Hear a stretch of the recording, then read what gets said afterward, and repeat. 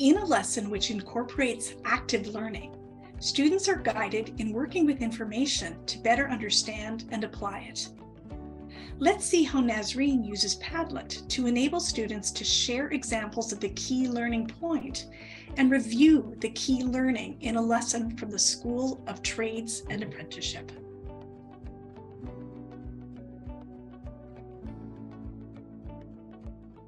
Um, we're going to review the last hour. Welcome back from the break.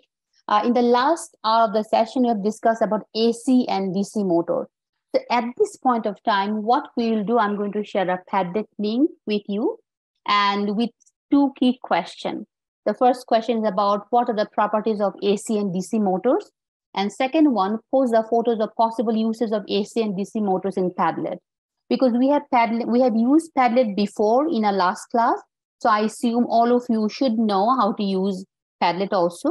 So, but then feel free to ask for help if you have difficulty of accessing the link.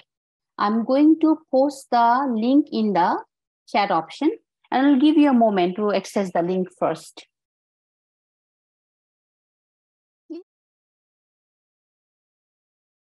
can do this individual task and you'll have five minutes to do that and feel free to use the materials that I have provided you already in the course shell.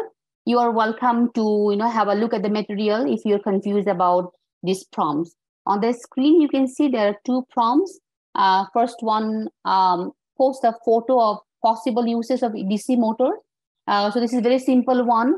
Uh, think about the uh, think about one example, and, and you can look around. You know, in your in your uh, house, I'm very sure you will have some example of you know that where we have used DC motor. So feel free to post a picture of that and AC motor do the same one.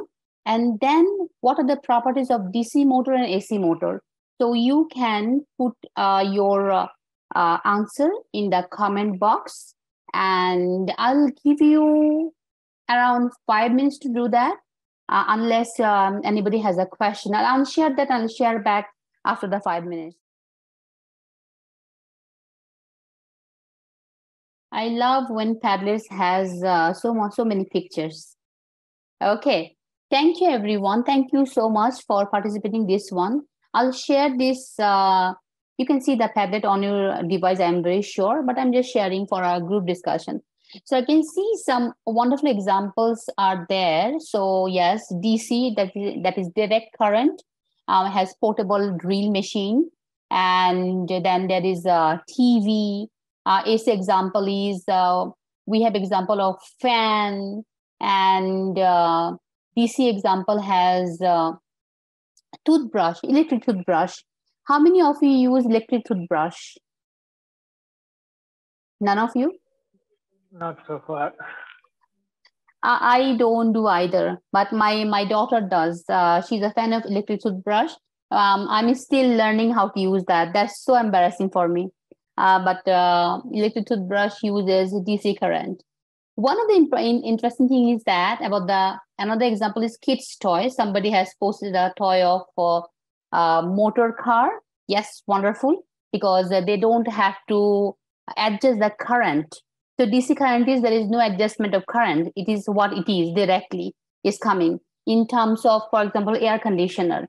So well, always there is a power imbalance, and then when that kind of uh, AC motor, when they transfer the current into the system, so they adjust the current. So that's, that's why this is called AC current. So what I will ask one question, somebody has posted a picture of uh, some kind of, you know, kid's toy. Uh, I'm talking about the right corner top one, but it doesn't have a motor. Have you seen that? So there is no yeah. current so yeah this is interesting. So uh, to have to be that example you need to have some kind of motor. So without a motor it's not going to be neither ac nor dc so that example is uh, funny i would say uh, but not the correct one.